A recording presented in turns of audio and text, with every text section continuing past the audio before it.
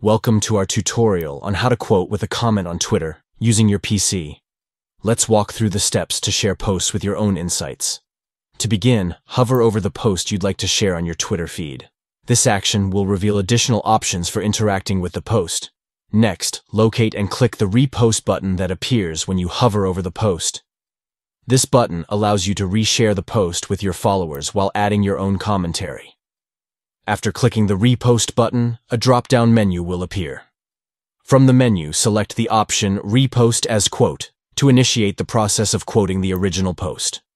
Once you have chosen to repost as a quote, you can now add your own comment or thoughts to accompany the shared post.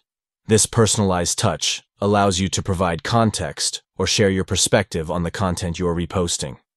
Finally, when you're satisfied with your comment, and ready to share the post, click the repost button once again to post the quoted content with your added commentary to your Twitter profile. By following these steps, you can easily quote with a comment on Twitter using your PC, enhancing your engagement and interactions on the platform. Stay tuned for more tips and tutorials on optimizing your Twitter experience. Thank you for watching.